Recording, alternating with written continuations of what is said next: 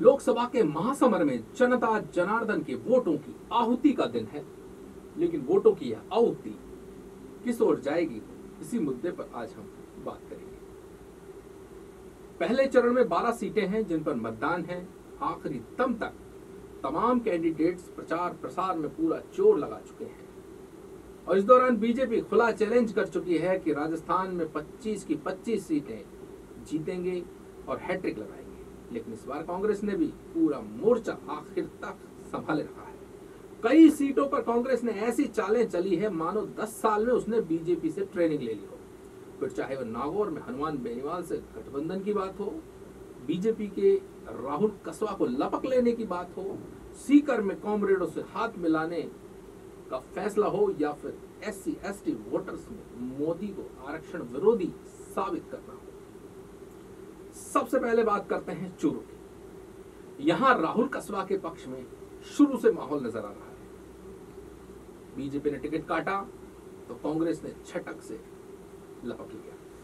उनके टिकट काटे जाने से सहानुभूति की लहर है। जमीनी स्तर पर देखें तो चूरू बीजेपी की परंपरागत सीट भले ही रही हो, लेकिन जो परिवार बीजेपी के टिकट पर जीतता रहा है, उसी परिवार के सिटिंग सांसद को साइडलाइन कर देना कस्वा समर्थकों को नागवार गुजरा है।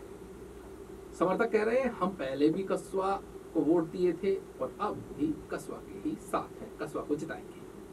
मतलब इसमें कोई फ़र्क नहीं पड़ता कि वे पहले बीजेपी में थे और कांग्रेस में इसके अलावा कस्बा की जाट वोटों पर जोरदार पकड़ नज़र आई है। कुल मिलाकर राहुल कस्बा यहाँ प्लस में नज़र आ रहे हैं और फलौदी का सट्टा बाज़ार भी उन्हें ही जिता रहा है। बात करते हैं देवेंद्र झाझड़िया की, जिनके लिए ये चुनाव, पहला चुनाव है। वे पैरा ओलंपिक खिलाड़ी हैं। मोदी ने चूरू आकर उनके पक्ष में इमोशनल कार्ड भी खेला था, क्योंकि राहुल कस्बा का माहौल जो पॉजिटिव बन रहा था, उससे कहीं ना कहीं बीजेपी को दिक्कत आ रही थी। लेकिन अब चैलेंज है कि वे जो झाझड़िया है जाट वोटों को कितना साध पाएँगे? अगर वे 20 फ़ीसदी जाटों को भी साध पाए तो राहुल कस्बा को कंपीट करते नज़र आएँगे। अब बात करते हैं एक और चर्चित सीट, नागौर की। यहाँ पहले बीजेपी ने दाव खेला, ज्योति मिर्धा को चुनाव मैदान में उतारा और साथ ही दो दिग्गज मिर्धाओं को भी अपने साथ ले लिया। बेनीवाल जो गत चुनाव में बीजेपी के साथ गठबंधन में थे, उन पर इस बार कांग्रेस ने दाव खेल दिया। इस बार आरएलपी के साथ गठबंधन करवाकर गहलोत बेनीवाल के पक्ष में वोट मांगते नज़र आ रहे थे और हालाँकि बड़ा चौंकाने वाला सीन नज़र आता है क्योंकि हनुमान बेनीवाल वसुंधरा राजे के साथ गहलोत को हमेशा लपेटते रहे दोनों ही नेताओं पर मिली भगत से सरकार बनाने के आरोप लगाते रहे कहीं ना कहीं कुछ मुद्दों पर बेनीवाल की विचारधारा लेकिन फिर भी कांग्रेस से मिलती जुली नज़र आई है, खासतौर से किसानों और युवाओं के मामले में। तो बीजेपी की ज्योति मिर्धा और इंडी गठबंधन के हनुमान बेनीवाल में कड़ी टक्कर है, लेकिन फिर भी हाल ही में विधानसभा चुनाव में 70 सीटों पर अपने कैंडिडेट्स उतारने वाले हनुमान बेनीवाल बस खुद की सीट ही बचा पाए थे और महज ढाई हज़ार वोटों के अंतर से वे जीते थे। तो ताज़ा रिपोर्ट यह है कि नागौर में ज्योति बिरदा बेनीवाल से आगे चल रही है। गैर जाट वोटर्स पर भी ज्योति मिर्धा ने जोरदार पकड़ बनाई हुई है। बेनीवाल इसमें पिछड़ गए हैं। भले ही कांग्रेस के तमाम नेता सपोर्ट में एकाएक आ गए हों शायद इसीलिए चुनाव प्रचार के आखिरी दिन गहलोत समेत तमाम जो नेता है, बेनीवाल के समर्थन में जुटे एससी वोटर्स को साधने बीकानेर के कैंडिडेट गोविंद राम मेघवाल को भी आना पड़ा। ऐसे में यह भी कहा जा सकता है कि कांटे की टक्कर तो है, लेकिन देखना होगा कि जाट वोटों के अलावा बेनीवाल दूसरी जो जातियाँ हैं, उनमें कितनी सेंधमारी कर सकते हैं। सीकर में चुनाव बड़ा दिलचस्प हो गया है। यहाँ भगवा, बनाम, लाल सलाम का सीन क्रिएट हो चुका है। भगवा शांति का प्रतीक है तो लाल रंग शक्ति और एग्रेसिवनेस का प्रतीक माना जाता है। किसान नेता कॉमरेड अमराराम। को यहाँ कांग्रेस ने समर्थ देकर, समर्थन देकर चाल चल दी है। पिछले विधानसभा चुनाव में अमरा राम का ज़्यादा अच्छा प्रदर्शन तो नहीं रहा, लेकिन आक्रामक कॉमरेड माने जाते हैं। राजस्थान किसानों की आवाज़ बनकर रहे हैं। अमरा राम के प्रचार के लिए पूरे देश के कॉमरेड मजदूर वर्ग उमड़कर सीकर पहुँचे हैं। उनके पक्ष में कांग्रेस ने भी पूरा दम लगा रखा है। पीसीसी चीफ गोविंद सिंह डोटासरा का गृह क्षेत्र भी है। उन्होंने जोरदार माहौल बनाया हुआ था। दूसरी ओर बीजेपी के दो बार के सांसद महाराजा सुमेधा सिंह सुमेधानंद महाराज की पकड़ क्षेत्र के प्रबुद्ध और व्यावसायिक वर्ग में भी अच्छी है। इसलिए वे यहाँ थोड़ा प्लस में नज़र आ रहे हैं। झुंझुनू में ब्रजेंद्र ओला के पक्ष में अच्छा माहौल है। वजह है झुंझुनू में बीजेपी के बीच में अंदरूनी कल है झगड़े टंटे हैं। टुकड़ों में बड़ी बीजेपी शुभकरण चौधरी के साथ है। ऊपर से राजपूतों की नाराज़गी अलग से है। तो ये भारी पड़ सकती है झुंझुनू में बीजेपी के लिए।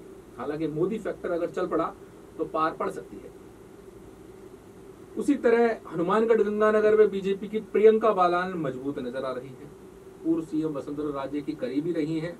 उनको विधानसभा चुनाव में भी उतार दिया था राजे ने उस दौरान।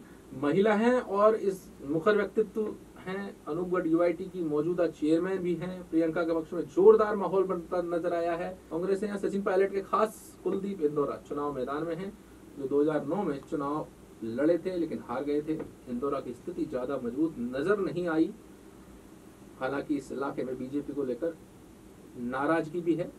नाराज़गी की वजह पंजाब प्राइड है। यहाँ एस, एससी के दो मुख्य जातियाँ हैं, मेघवाल और नायक, और जीत हार का फैसला इस फैक्टर पर भी डिपेंड करेगा कि कौन किसको कितना साथ पाता है। अब बीकानेर की बात कर लेते हैं। यहाँ बीजेपी के कद्दावर नेता, केंद्रीय मंत्री अर्जुन राम मेघवाल के सामने कांग्रेस के गोविंद राम मेघवाल है। जहाँ तक अर्जुन राम मेघवाल की बात है तो एससी वोटर्स को लेकर यहाँ पेज फंसता नज़र आ रहा है, जबकि जाट और राजपूत अर्जुन राम के साथ हैं। दरअसल यहाँ एक वीडियो ने खलबली मचा दी है, जिसमें पीएम मोदी आरक्षण के खिलाफ बोलते नज़र आ रहे हैं। वीडियो जोरदार वायरल हो चुका है। हालाँकि इसके पीछे का सच कुछ और है। मोदी पंडित जवाहरलाल नेहरू के एक पत्र को पढ़ रहे थे, लेकिन अब तीर तो निकल चुका है और कांग्रेस ने इसका फ़ायदा उठा लिया है, जमकर वायरल किया है। अब ये तीर जो निकला है, कहाँ कहाँ संभाला जाए? कहीं ना कहीं सोशल मीडिया के इसी तरह के तीर बीजेपी ने भी पहले खूब चलाए थे। इसको पलटवार कहा जा सकता है कांग्रेस का। इस वीडियो को लेकर कांग्रेस एग्रेसिव प्रचार कर चुकी है कि अगर बीजेपी फिर से सत्ता में आ गई तो एस सी के लोगों का आरक्षण चला जाएगा। अब बीजेपी के सभी नेता भाषणों की शुरुआत में इसी बात को संभालते नज़र आ रहे हैं। खुद PM Modi Dausa road show में कह चुके हैं कि आरक्षण किसी भी कीमत पर खत्म नहीं होगा डॉक्टर किरोड़ी भी इस पर सफ़ाई दे चुके हैं। उधर दौसा में भी कांग्रेस प्लस में नज़र आ रही है। कांग्रेस के मुराल लाल मीणा के सामने बीजेपी के कन्हैया लाल मीणा कमज़ोर नज़र आ रहे हैं। यहाँ भी एस सी वोटर्स में कांग्रेस ने डर बैठा दिया है कि बीजेपी आरक्षण को खत्म कर देगी डॉक्टर किरोड़ीलाल मीणा सफ़ाई देते हुए कह रहे हैं कि कांग्रेस भ्रमित कर रही है। सचिन पायलट ने मुरारीलाल मीणा के पक्ष में जोरदार प्रचार किया है। यहाँ पायलट और किरोड़ के लिए प्रतिष्ठा की लड़ाई है। धौलपुर करौली की बात करें तो भजनलाल जाटव थोड़े कमज़ोर नज़र आ रहे हैं। गहलोत के खास हैं, पायलट के समर्थकों की नाराज़गी भजनलाल के लिए भारी पड़ सकती है। हालाँकि प्रचार करने तो सचिन पायलट भी आए थे। यहाँ पर जसवंत, गुर्जर और मलिंगा दो फैक्टर नुकसान पहुँचा सकते हैं। करौली के जाट और मीणा वोटर बीजेपी के तरफ़ जाते यहाँ पर नज़र आ रहे हैं। हालाँकि कांटे का मुकाबला है। राजपूतों की नाराज़गी एक अलग फैक्टर हो सकता है, लेकिन डिप्टी सीएम दिया कुमारी उनको मनाने भी आ चुकी है।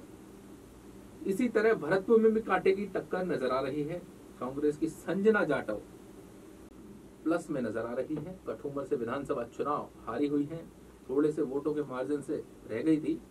उनके प्रति सहानुभूति की लहर है। महाराज विश्वेंद्र सिंह ने पूरा ज़ोर लगाया हुआ है संजना के पक्ष में। बीजेपी के रामस्वरूप कोहली के लिए ये सबसे बड़ा चैलेंज है। वो है जाट वोटों का।